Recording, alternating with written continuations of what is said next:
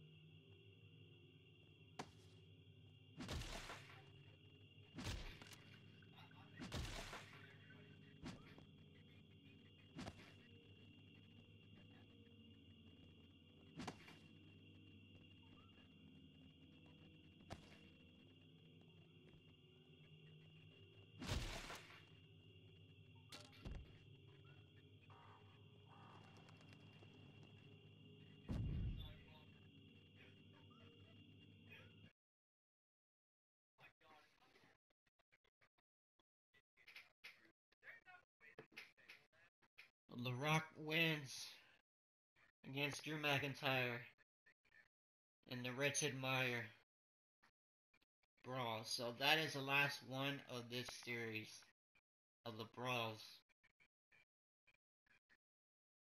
In every every uh every location. So we will upload these and it'll be done.